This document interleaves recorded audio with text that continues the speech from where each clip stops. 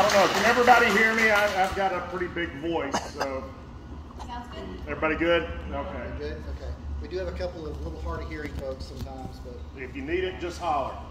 all right.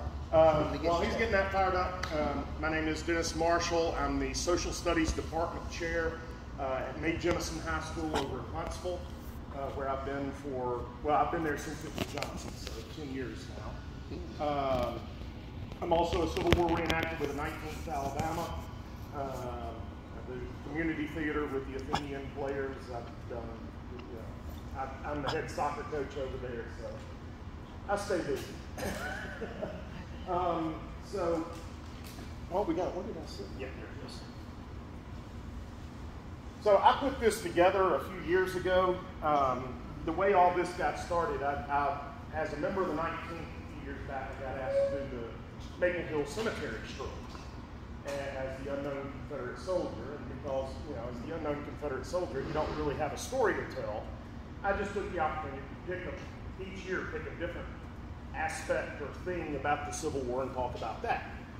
Uh, and this past year, uh, I've talked about the naval um action in the Civil War and how it was connected to the state of Alabama. Um, so, uh, like I said, it grew out of that. I'd, I'd give this lecture to my honors U.S. history kids uh, about once a year. Uh, if I start going long, just stop me because uh, I, I can go for a while. So, and I'll lose track. If you have a question, you know, like my class, raise a hand or just holler it out. I'll uh, be happy to, to field those. Uh, but we start too far away from the Oh, it would help if I turned it on. There we go.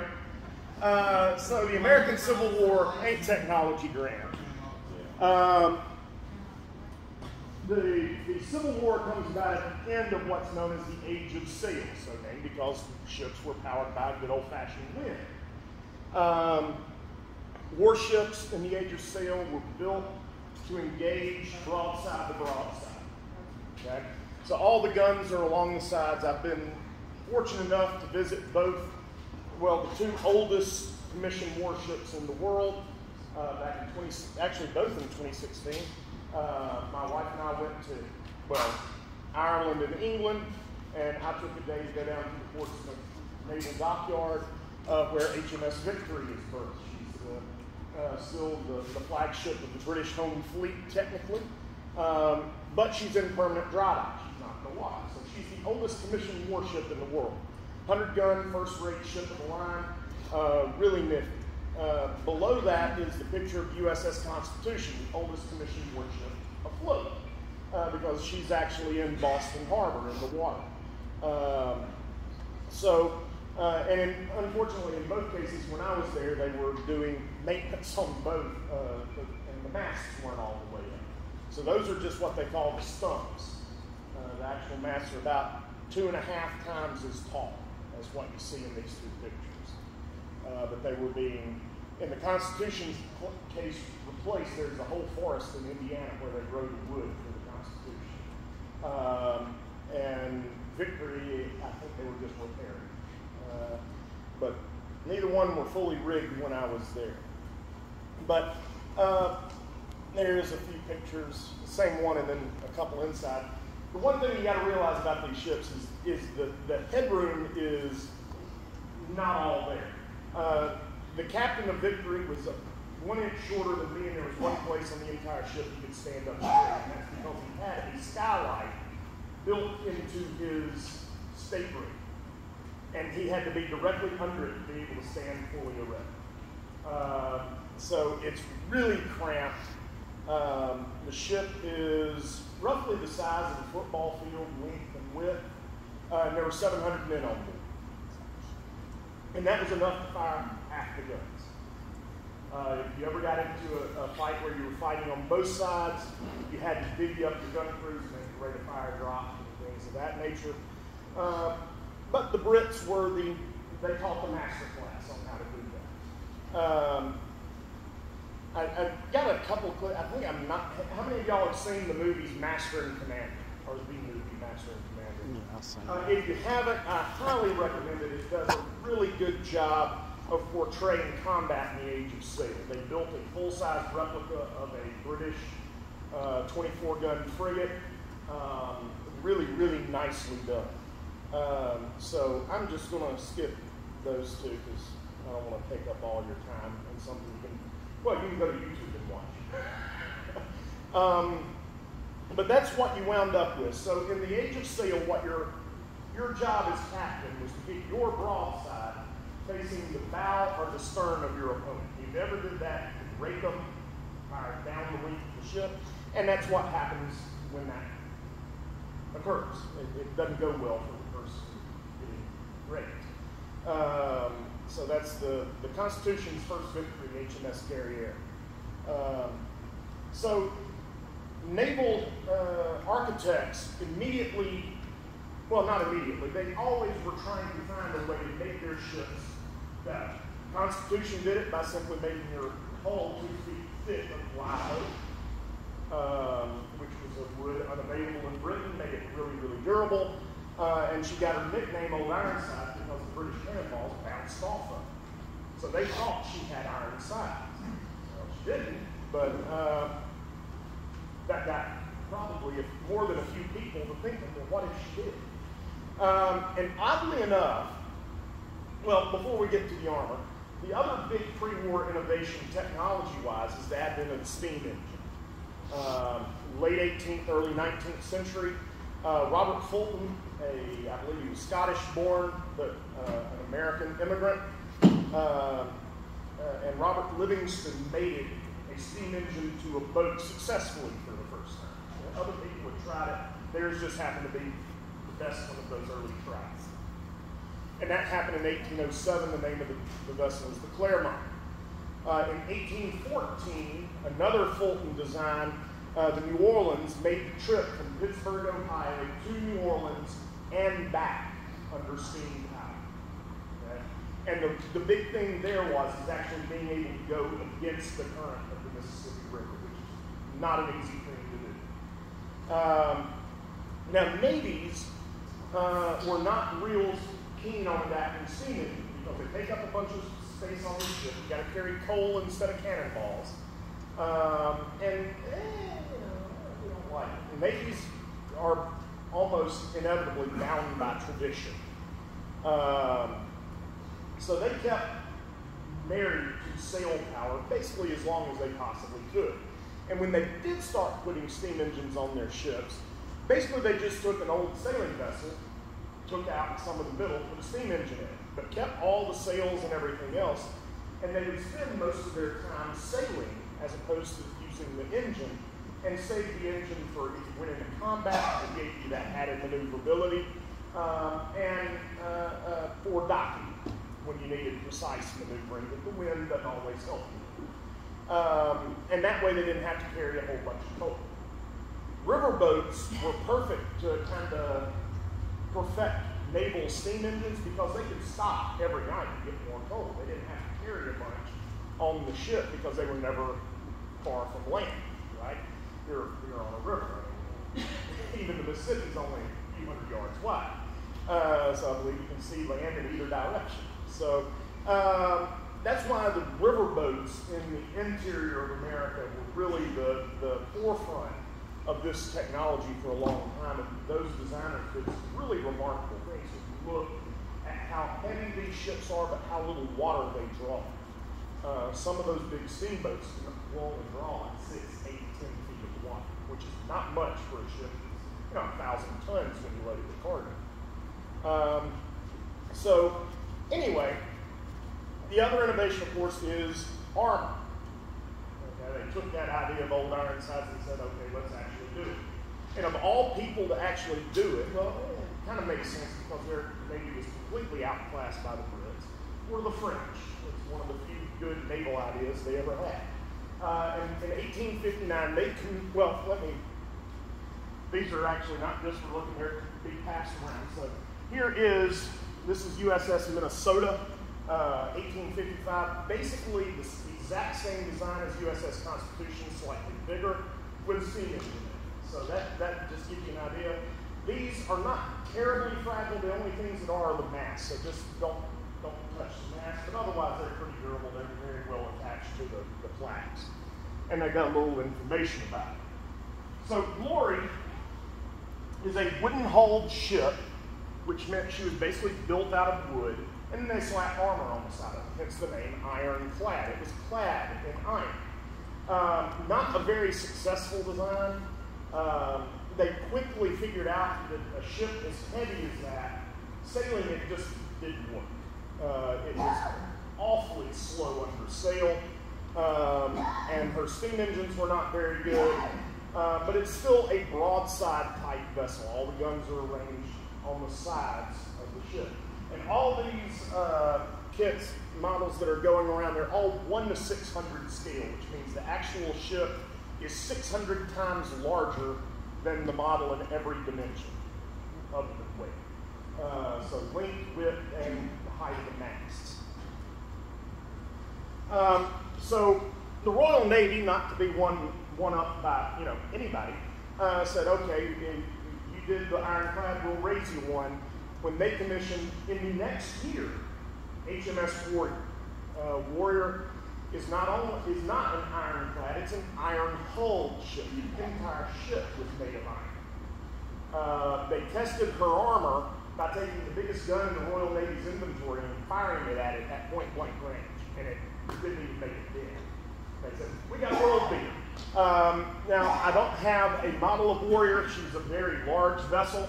Um, so, again, at Her Majesty's dock, now His Majesty's dockyard in Plymouth, they actually found Warrior. It was being used as a as the pilings for a pier in some harbor.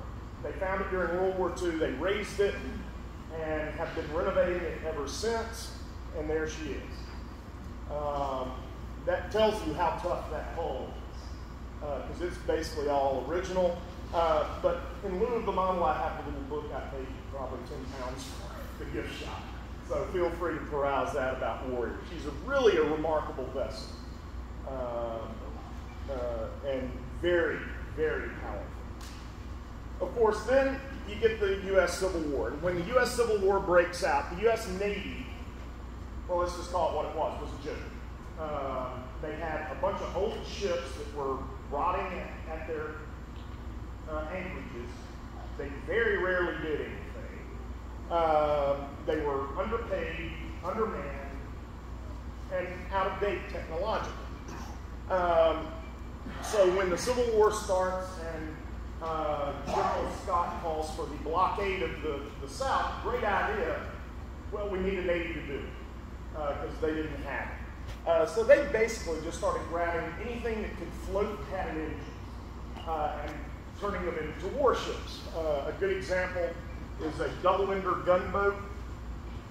This is the USS Fort Jackson with a walking beam steam engine. That's what you see right in front of the stack. Uh, moderately armed, but they were their one advantage was they were fast, and that's what they needed to catch blockade uh, But that didn't come about for a while. Um, and of course, the U.S. Navy, as bad as it was, was still a leg up on the Confederate Navy because, you know, it didn't exist. They had to build it from the ground up. So they immediately said, uh, as, if you've never seen it, and you've got to deal with the language, I will I'll give you that disclaimer. There's a guy on YouTube called the Fat Electrician. And one of the things he said is the worst thing you can ever do is make an American improvise. Uh, so the South had to improvise. And what they found is when they when Virginia seceded, the U.S. Navy tried to burn the Norfolk Navy Yard in Virginia.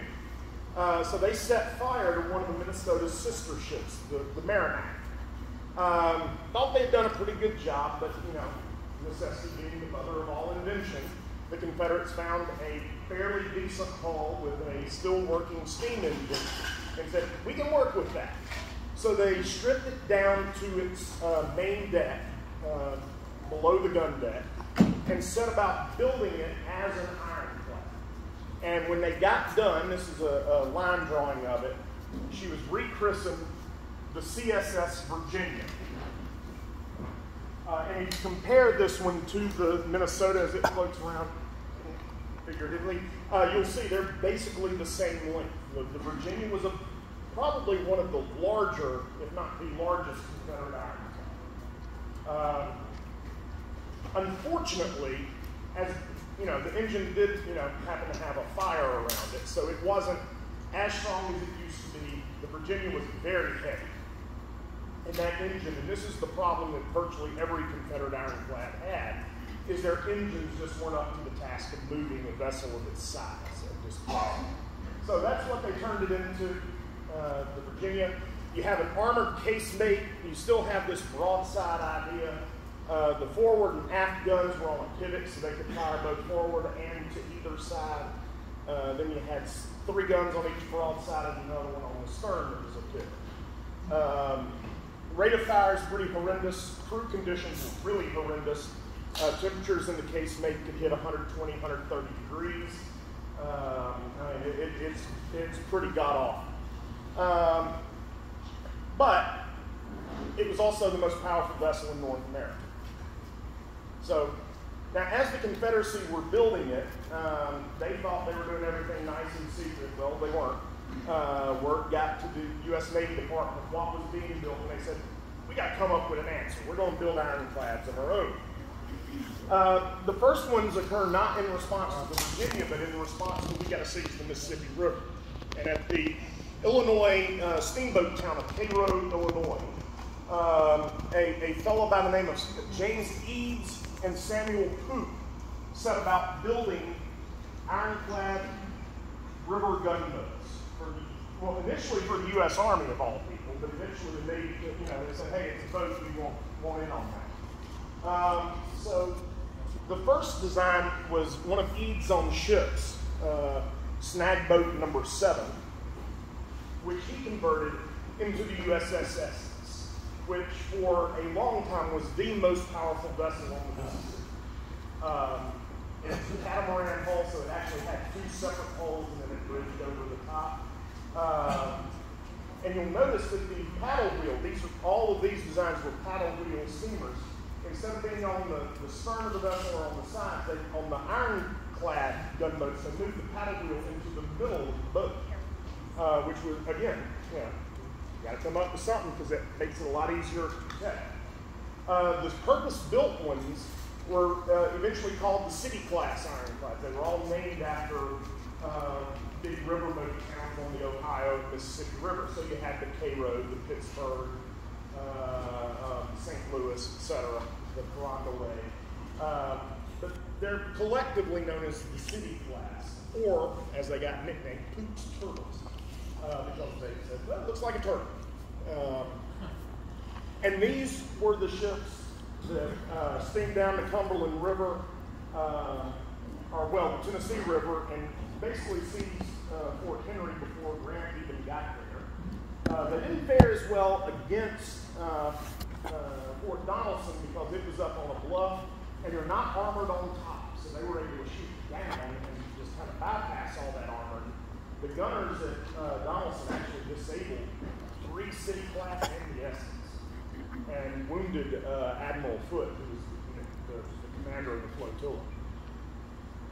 Um, in addition to the Merrimack, uh, the owner of a tugboat in New Orleans decided to convert his tugboat at his own expense into an ironclad. He was going to use it as a privateer. I don't know what gave him that idea. It was slow to catch anything. Uh, but it was really small. It presented a very small target. And the one thing it had going for it, if you know anything about tugboats, their engines are typically a lot bigger than what they need to be to move the tugboat because they got to push something else. So it was the one Confederate ironclad that actually had really good engines. And it had two in a very small package. It was relatively fast, and most of the Confederate ironclads were built as rams. Their main attack is not their guns, it was to run into the other guy. Uh, so this boat is rechristened the CSS Manassas. It's a really odd looking little thing. It only has one gun in the bow. Uh, but she was a ram, and that's how she was going to be used. Uh, however, her career was very short lived, as were most Confederate ironclads, uh, as she was sunk at the Battle of New Orleans uh, by her crew um, and was lost along with the entirety of what was known then as the Louisiana State Team um, at the Battle of New Orleans. She the bottom of the river? Uh, what's left of her, yeah. And they did a pretty efficient job discovering. What was the question? Uh, he said, is it still there? And uh, what's left of it, I think is. I think there's a marker for it. The river, I mean, the Mississippi changes a lot, especially around New Orleans. Uh, so I think the, the site is now underwater. I don't, don't quote me on that. Uh, but there wasn't much left of it because they, they set off for magazines. So. Uh, now, the U.S. Navy wants, you know, again, they knew what was going on on the rivers, but they said, we need something that can go in the ocean. So they sent out word, we need designs of, you know, ocean going or, well, sort of ocean going ironclads. And they got three. Uh, the first is the Galena, uh, which was basically one of those little double-ender gunboats with a very deep set of armor put on it they found out was more trouble than it was worth. They eventually strip off the armor and it serves uh, as a wooden gunboat for the remainder of the war. She actually participated in the Battle of Mobile Bay as a wooden gunboat. The second and far more successful design, and probably the one the Union should have stuck with, they took a play on the, the nickname of Constitution, the old Ironside. So this one was the new Ironside. Um, she is a steam, classed as a steam frigate, had a full set of sails when she was commissioned, but like the Glory, they realized this thing can't move under sail or squat. So they left the stub mast just to use as signal posts, uh, and she operated always on under steam. Um, but it was an incredibly successful design. She was engaged in virtually every major fight up and down the east coast of the Confederacy. Uh, she was hit well over 300 times, and her armor was never used. Uh, not one crewman was ever lost in action in terms of enemy fire. A couple of them got a you know, gun landing on them because they didn't get out of the way. But uh, it's really a remarkably successful vessel. But that's the New Ironsides. The third is the far and away most radical design of the three. Uh, and what saved it, because the Navy Department didn't like it, because it was, I mean, it, Navy's traditional. This went against everything because it had no sails. It wasn't arranged as a broadside ironclad, you know, broadside vessel. It broke virtually every rule. The designer of this vessel, or the vessel is, of course, the Monitor, the USS Monitor. John Ericsson, a Swedish-born engineer who had uh, immigrated to the United States, uh, designed it, and he just went all out.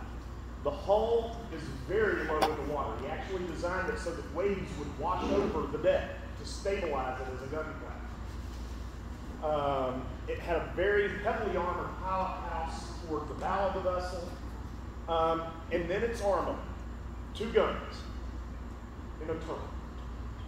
And that was the real shakeup in naval design. Uh, the monitor, and what saved it from virtual obscurity is the fact that it was the only one of the three that was ready when the CSS Virginia sailed out uh, so it was on its way to Hampton Roads. So that gets us to the Battle of Hampton Roads, day one, March 8, 1862. The Virginia stings out of Norfolk, goes up to the Union Anchorage. Uh, promptly rams and sinks the USS Cumberland, uh, which was a sailing frigate. Uh, then used gunfire to set her sister ship, the Congress, ablaze, and then ran uh, the Minnesota, the, one, the first one that went around, ran it aground. Uh, and they said, okay, that's a good day's work. They went back north. Uh, at 9 o'clock that night, the USS Monitor was towed into Hampton Roads. Because the one big drawback of Ericsson's design is it was not an open water vessel. You get it out in, in the open ocean, all that waves going over the hull doesn't work real well. Uh, so the monitors were typically towed from point to point by other vessels for safety. Um, but the Virginia returns on the 9th to finish off the Minnesota and finds this odd looking little thing in its way. And they set about fighting each other. Now, the monitor hit the Virginia multiple times, never pierced her armor.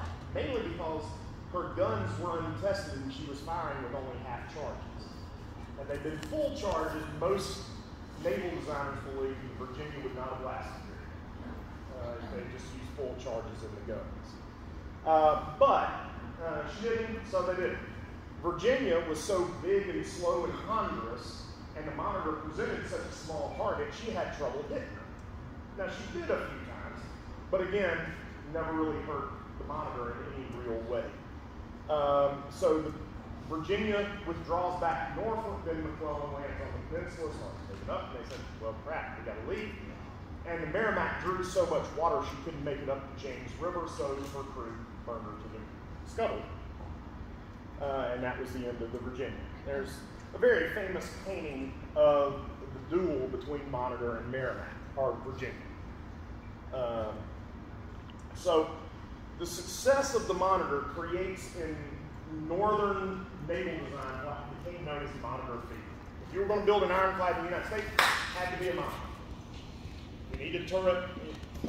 A very radical jump, considering you know one of them had seen action and you know fought to a draw. Uh, but that's the way it worked. So when monitors, and it's one of two ships a whole group of vessels named after. The other is Dreadnought, uh, the original modern battleship. But monitors as a group, when they confronted Confederate ironclads, performed very, very, very well. Uh, they were very well suited to engaging uh, the Confederate ironclads because they were typically had better engines, they were more maneuverable, and as a rule presented a very small target. Uh, however, when they were fighting fixed fortifications, they did not do so well because fixed fortifications, it's easier to aim. Uh, and they got hit a lot. So it required some significant redesigns. Uh, and eventually, by the last class, the Canonicus class, they had fixed most of the problems going up against fortifications as well. You also had monitors on the, the Mississippi River with the twin turret Milwaukee class, an Eads design, which Ericsson didn't like very much, because uh, in most respects it was superior to his designs. Uh, and uh, the single turreted Neosho and Osage classes. So, what I've got next is just a collection this just goes from the USS Monitor all the way down to the Milwaukee class. So you get right here in the middle, the Canonicus class, and then the Onondaga uh, are both, both incredibly well-designed vessels. Uh, one of the odd things about the U.S. Navy at this point, all of these vessels were named after Native American tribes or individuals in the case of the Tecumseh. Uh, I never have really figured out why, but you know, U.S. Navy picks something, they stick with it. So uh, that's why you have a whole bunch of these that are really hard to pronounce. Uh, they even went so far as to take another one of the uh, Minnesota's sister ships, the Roanoke, and convert it to a monitor. Um, now, the Roanoke has the distinction of being the only triple turreted monitor. Uh, it was an abject failure because the wooden hull couldn't support all the weight of the armor plus three turrets. But it is the uh, beginning, the grandfather, if you will, of the modern battleship. Because once you get to the, the 19, late 30s, early 40s, the standard battleship turret layout three turrets all on the center line. And so that was started by the Roanoke, even though in all other respects it was junk.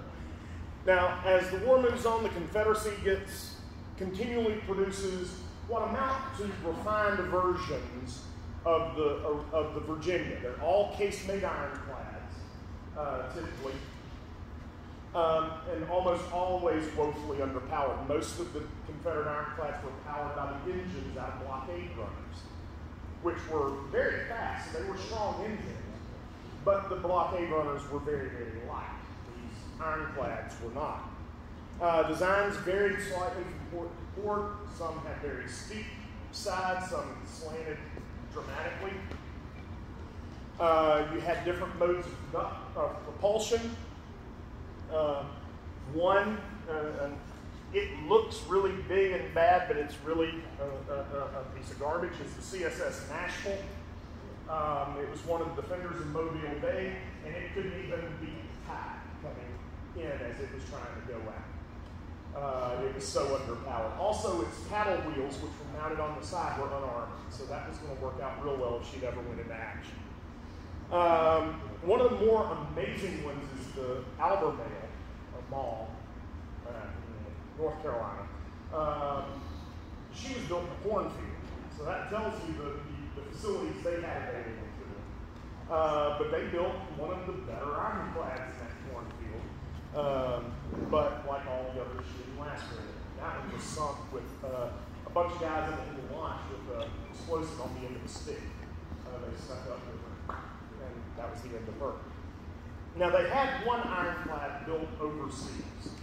Uh, it was built in France. Uh, eventually commissioned as the CSS Stonewall. Her history is pretty funny. Uh, so it's built in France. The U.S. throws a fit. France said, okay, okay, we won't sell it to the So they sell it to Denmark. Well, Denmark got, we don't want this, we don't need it.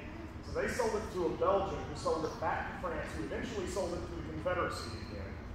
Um, and they actually had to, but they sold it after it was out of the French port in the Canary Islands. And that's where it shifted from French to uh, Confederate uh, flag. Uh, never saw combat because when they, they got across the Atlantic, it was far and away the best ironclad the Confederacy ever had at its disposal. Um, but, you know, by the time they got across the Atlantic and, and went into Havana Harbor in Cuba, they're like, oh, war's over. Um, so too little, too late. She's turned over to the U.S. authorities, who hang on to it for a little while, and eventually sell it to Japan of all people. And it's under the Japanese flag that it sees action in the last little quasi-civil war in Japan in the 1880s. Uh, so a really bizarre history. Um, unlike all other Confederate ironclads, she also had a sailing rig. It was brig rigged with two masts. Um, this is the one mistake the guy that made that I, well, it's a company that I bought most of these kits from. This is the one mistake he made. It was not a turret on the back, it was simply a round encasement. But a turret on it, probably didn't want to make a cast. Uh, but, you know, that's the way that goes. Now, you know, again, necessity is the mother of all uh, invention. The last innovation, of course, is the submersible vessel. Now, they toyed around with semi-submersible vessels that would get really, really low in the water. Um, but uh, eventually they said, well, let's just get one that goes completely underwater. Now, of course, steam engines don't work real well underwater, so the vessel they come up with, and it's built down in Mobile, paid for by a fella in Mobile, and that's who it's named after, is, the, of course, the H.L. Hunley. Uh, the Hunley, uh, they thought originally was made out of a, a discarded boiler, uh, turns out they were wrong. It was custom made. Uh, had a crew of, of 11, if I'm not mistaken, uh, commander, and then a bunch of guys running a hand crane to make it go. um, it has the notable distinction of sinking every time it left shore. Um, so it was not a very safe uh, uh, assignment by any stretch of the imagination. Of course, you weren't assigned to volunteer. Um, they did manage to save some of the crew of one of those. Uh, so, yeah, you know. Uh, but the Hunley, and this is the one that's not 1 600 scale. This one, I don't even know what the scale is. It's probably somewhere around 177. It is not a very large vessel, which uh, but its other distinction, of course, is it's the first submarine to sink an enemy vessel. Um, they transported it by rail from Mobile to Charleston. Um, and they went out and on the night of February 17th of 64, uh, she sinks the USS Housatonic uh, in Charleston Harbor. Now, she's never heard from again. People assumed for a long time that she was also sunk by the same explosion that sunk the Housatonic Well, they looked for it and looked for it and looked for it and looked for it, and then they wind up back at 02, 03, I think. They found it about 150 yards from its peak. They made it almost all the way back. So the next theory was they got close, the air was getting kind of funky, so they got on the surface and opened the hatch. A wave came in and swamped them because uh, they were almost down. But that's why it took us so long find. Nobody had guessed she would have made it back. Uh, but that's the hunt. Uh, let's see.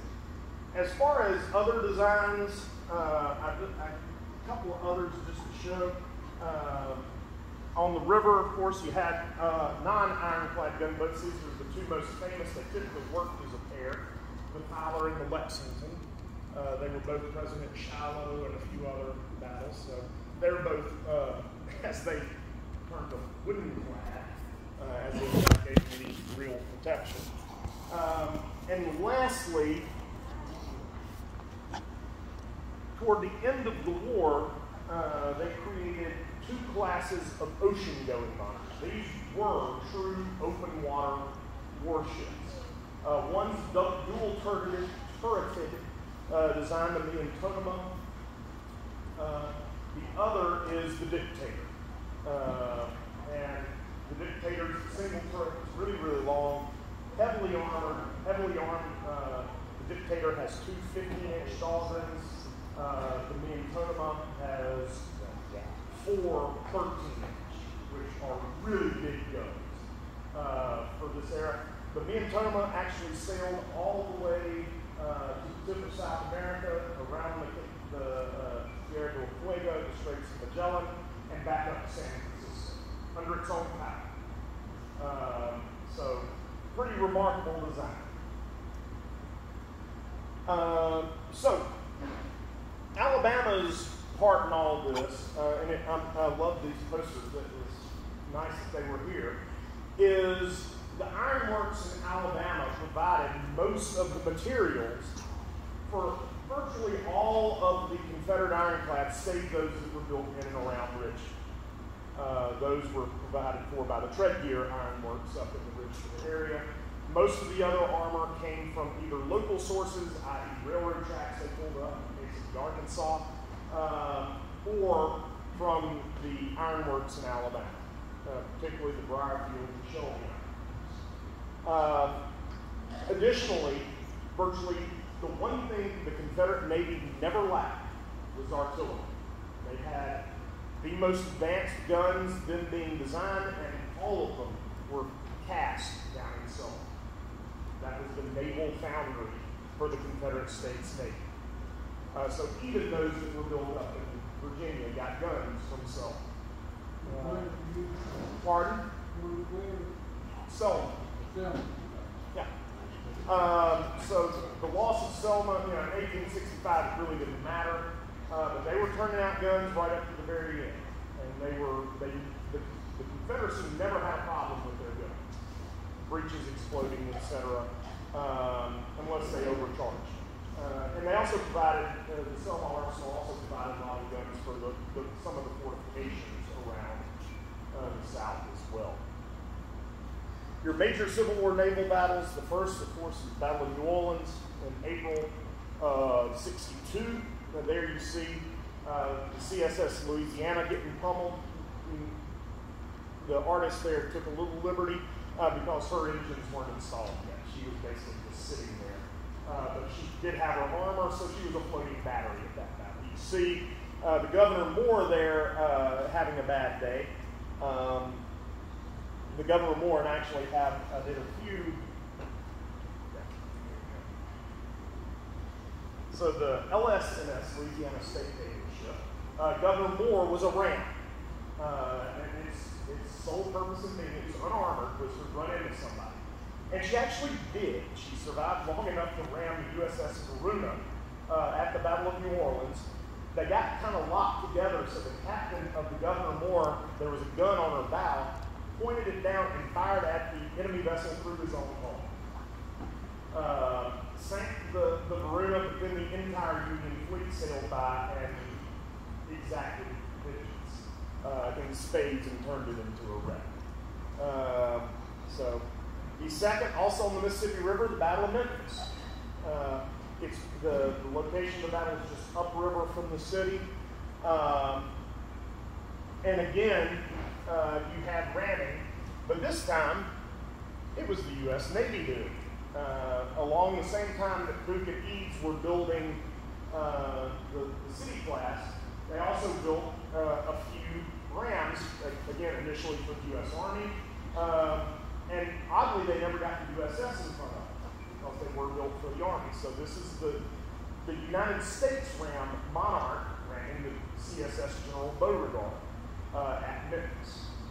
And she was successful and lived to tell the tale uh, because it had eight city class ironclads coming up behind it. Uh, the entire Confederate flotilla was eliminated in that one battle, and that's what opened the Mississippi River, with the exception of the, the area right around Vicksburg, uh, to the Union.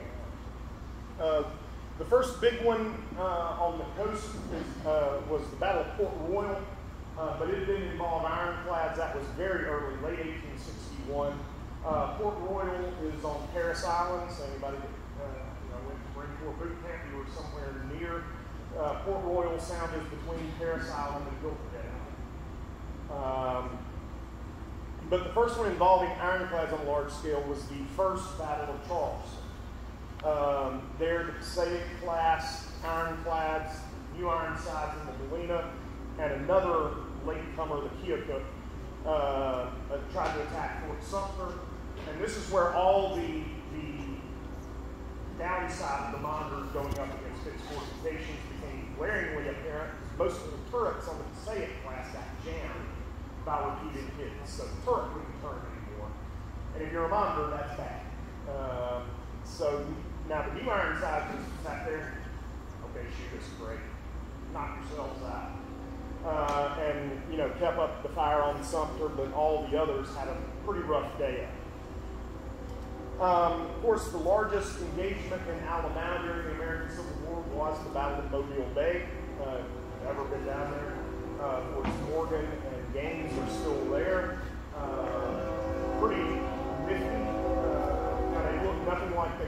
Civil War because they got cut down at the turn of the century and turned into. But. But this uh, painting is when Farragut's fleet was charging past uh, Fort Morgan. Um, they entered the Confederate minefield, what we call a minefield today.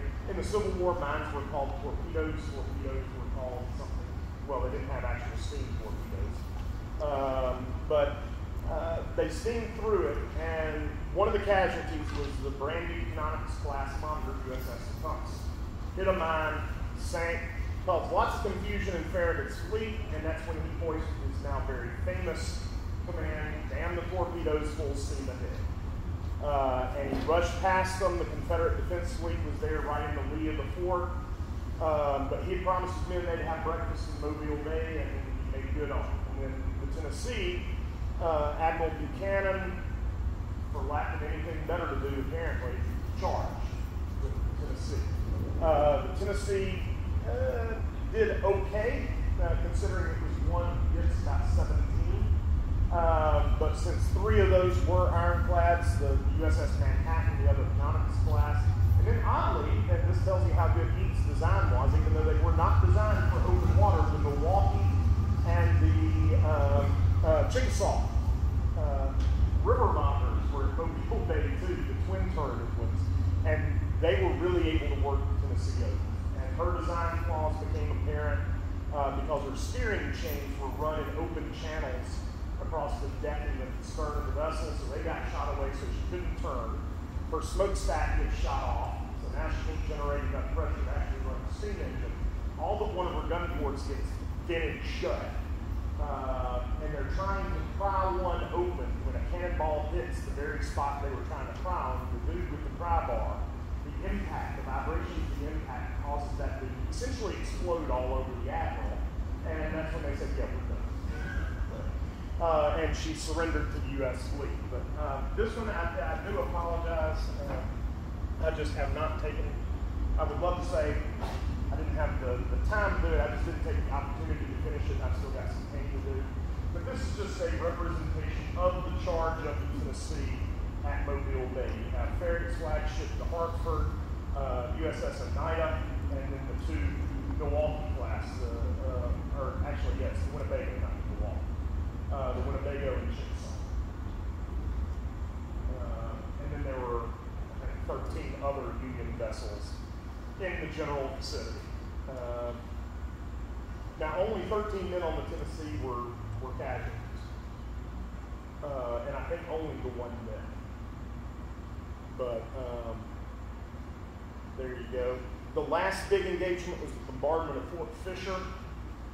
And here with the new Canonicus class in the Onondaga, the Navy finally figured out how to use monitors against fortifications. Fort Fisher is kind of a long, drawn out earthworks fort, but they knew where the guns were. So they assigned each monitor one gun.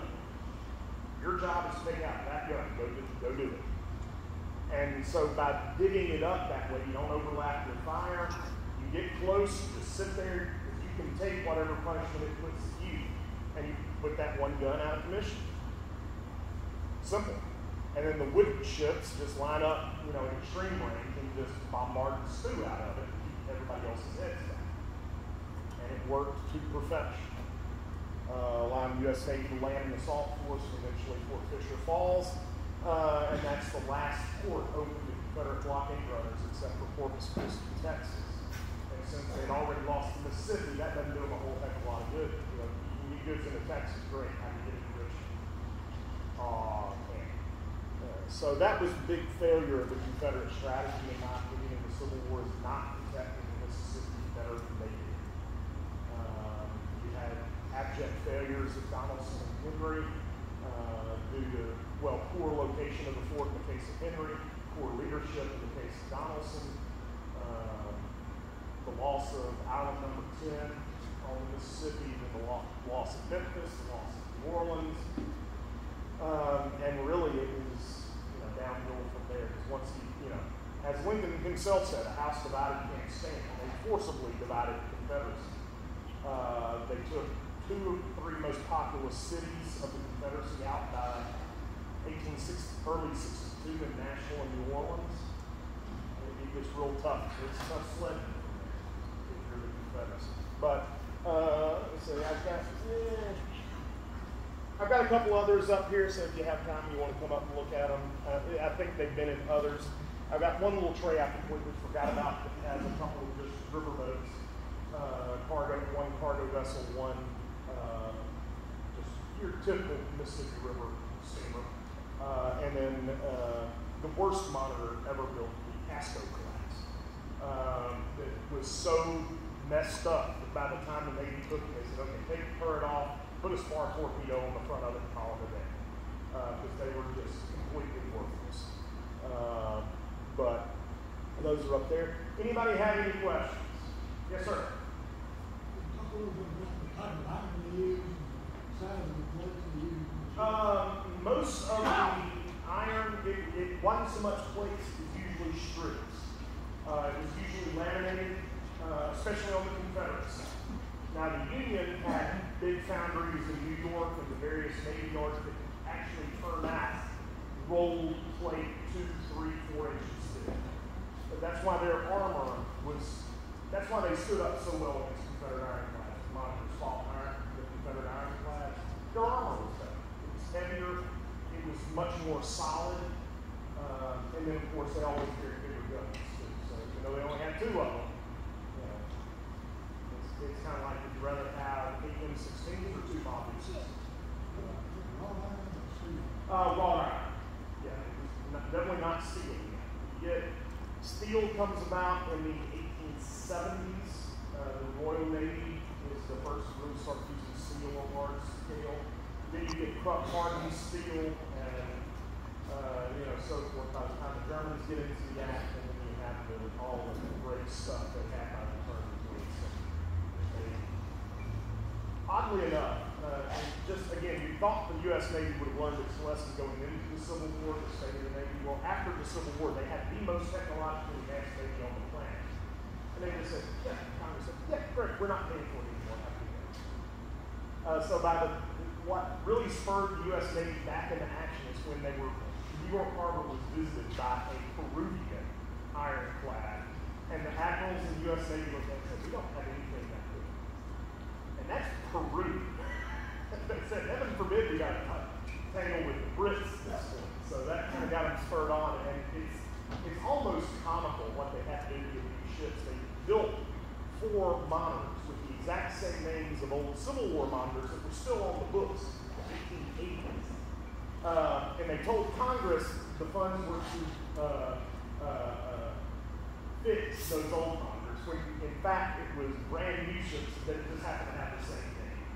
That's how, that's what they were reduced to trying to new ships until that happened. And then, you know, the building started, and you get a fellow by the name of Teddy Roosevelt of the Navy Department. He's not going to be second to anybody if he has anything to say about it. You get the perfect commodity. So. But yeah, the Navy, you know, it's tradition. They had to learn the same lesson twice before they got it under control. Yes, sir. Okay, during that, that time period, a big problem with the early steam engines were boiler explosions. Correct. Uh, one clause was when the operator would tie down the safety valve to get higher pressure steam, and also metallurgy wasn't so well known, and uh, with some corrosion, cracks would develop boilers. How much do these boiler explosions come into play during uh, the World War Depression? I, I can't think of one off the top of my head that was catastrophic. They had several. Uh, the only one I know of that was catastrophic were, was the, it wasn't even in action. It was a steamboat that was carrying prisoners. Yeah, the Sultana from Fort Pillow. Yeah, the boiler went to boom on. Um, they did have some issues uh, at Fort Donelson, not because the boilers themselves were faulty, but you know, a Confederate cannonball made them faulty. Uh, that's what got the Essex. Is they took a shot right to the boiler through its unarmored roof. Uh, so that's the only Navy problem. And had, you know, the one thing that saved those ships that were disabled by Donelson was the fact that the Cumberland River slowed north at that point. So when they lost power, they got pushed away from the port instead of towards. Uh, otherwise, they would have all been probably had been either scuttled or would have been captured. But I can't think of uh, a, big instance where a boiler explosion did in a ship beyond the They were salt. quite common in railroads Yes. and industrial applications. I think it was just the mere fact, I think naval engine designers, while, yeah, metallurgy wasn't as advanced as they, I think they took a lot more time with stuff on a ship because you might be out in the middle of the ocean, so they were a little more careful there. That's why I think you saw more in steamboats and, like you said, railroad engines, where if it goes, eh, you know, you walk to the next station and, you know, call for a new engine. Um, and, you know, sorry about the guys in the engine that, you know, aren't witnessing. Um, but, yeah, I think, think that's, I, and I'm by no means saying it didn't happen. But I just think, especially with the ironclads, I don't think it ever did. Yes, ma'am. With regard to the wheel housing and the armor, how Mhm. far below the water line did the armor go? I'm assuming not very far because of drag. And later, did they make adaptations to that? Yeah, the, the armor belt on the monitor, and that's another reason for Ericsson's design so low in the water, they didn't have to extend the armor very deep. Because uh, the freeboard on the monitor was only like 18 inches. So at full load, the deck was a foot and a half above the water. Uh, so uh, it was really a, it- like everything about the monitor was radical and innovative. Uh, but that's typically the way it went. Uh, as you move into the latter part of the 19th century, of course, they do get deeper and deeper into the hull. Then you have to start adding the torpedo bulges and everything else. Uh, by the time you get to World War I and especially in World War II. uh, you have armor belts extending below the waterline significantly. But these, not so much. Now, the pilot houses, you saw on the monitor, it's on the front. The Union actually figured out that was uh, another thing they figured out. If you look at the, the other models, you see the pilot houses are now on top of the turret. So that way, in action, they could communicate instead of having to send some schmuck running from turret to pilot house and back the whole time. Uh, but the pilot houses typically had, I want to say, between 8 and 12 inches of armor uh, because they were fairly small. So uh, the one on the monitor, you know, it was yay thick of solid iron. Uh, I think it was even cast, if I'm not mistaken. The pilot house. The original monitor was some, Not in action.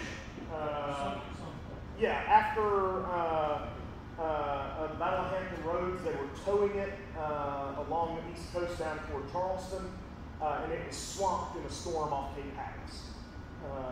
They located it not too many, they've actually raised the turret. Oh, okay. Yeah. So yeah, I knew the turret was raised. I say like ten years ago, maybe. Well, taken in nineteen seventy before. Well, that was a, that would have been a before dive. the- Yeah, before the US government got involved and people were diving on it. Yeah. So This guy got it, I guess decided that he wanted to get it. Yeah, but they uh, they have actually raised the turret. Uh, and I can't remember. Like I said, I think about a decade ago, give or take. Yeah. Anybody else? Rob? Um, so we're all, we are all familiar about explosions of where there's not enough water and the fire overheat, um, like all the overheats and Mhm. mm explode. Uh, whenever the ships were going through the rivers and um, through the fresh water, how come they couldn't um, use some of the steam to pressurize and bring it up into the boiler so they can have infinite water? Not basically all infinite, but some of the water said we get half of it. Uh, I think the, the short answer to that is most of those boilers use the closed system, uh, wherein the, the water, it was just continually used and then condensed and reused, you know, boiled, condensed, boiled, condensed, boiled, condensed. And the, the engineers running it just knew their business and knew how not to run it dry. Because I think it was a big issue to try and rewater the boilers on those steam, steamboats because typically the engines are at the very bottom of the ship for weight distribution because you don't want a ship to be very top heavy or it'll roll over real easy. So they're kind of a pain to get to. Uh, and I think that was just, you know, just one of those things. They figured it out by trial and er- error, obviously. But once they had it figured out, they kind of just stuck with it. And there wasn't a lot of technology back. Well, there was and there was. I mean, compared to what we have today, no. But for the time period, these were radical technological innovations. So, I mean, they were pushing the edge of what was technologically possible in the mid 19th century. Anybody else? Let's call. One more, um, uh, uh, even though they were using wrought iron, wrought iron can occur in several allotropes, like austenite, martensite, ferrite. And for example, martensite is very, very hard, very, very brittle. Uh, one of them is a body-centered cubic structure, another one is a face-centered cubic structure.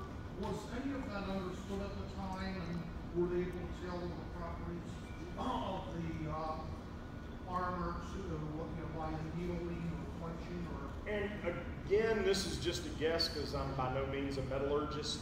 Uh, my guess is they knew there was a difference.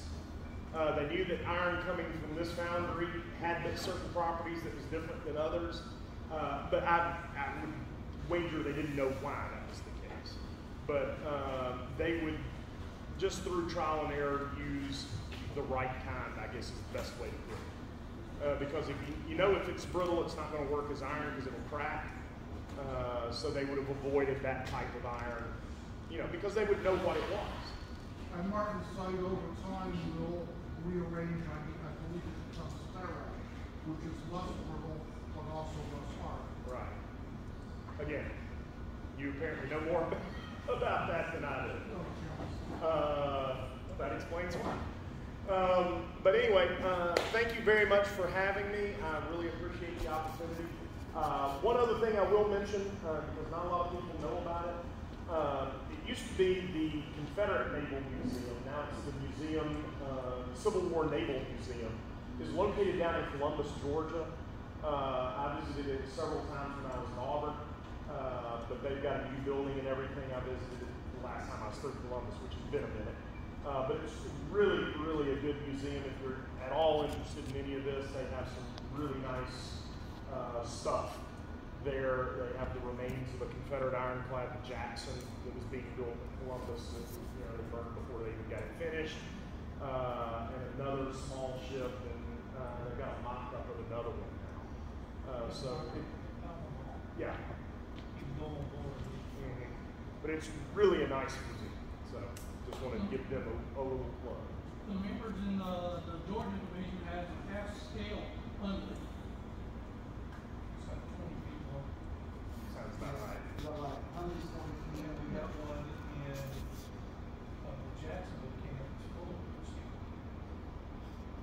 I will not be going. yeah, so you have a cutaway where you can actually see the operation of hand green. That's pretty new. It's, it's got to be some very short savers. Yes. Kind of like ball turret gunners in World War II. All right, folks. Again, thank you so much for having me.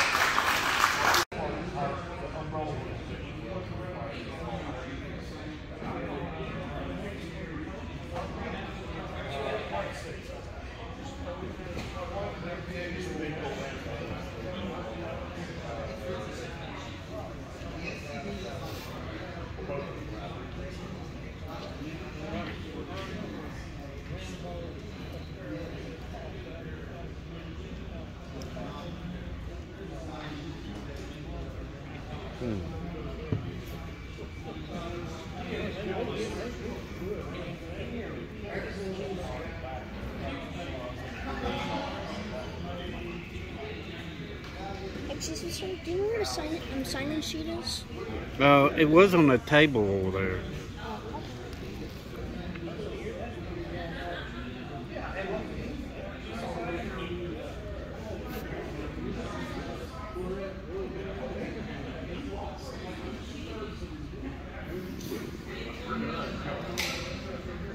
Hmm.